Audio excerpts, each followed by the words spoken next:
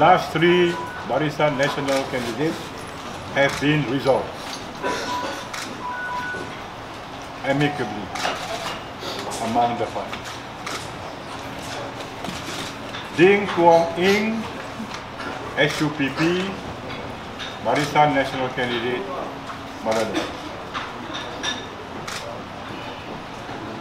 Dato Henry atau Harry anak Jinep, SPDP, BN candidate for Tasik Biru.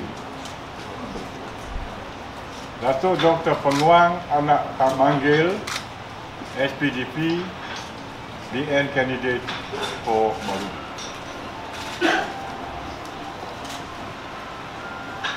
We join, we enter the state election as a united team. We have resolved our differences and we will face the electorate as a united team.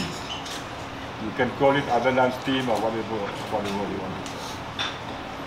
We will now turn our guns on the opposition instead of one another. At the last minute, Yes.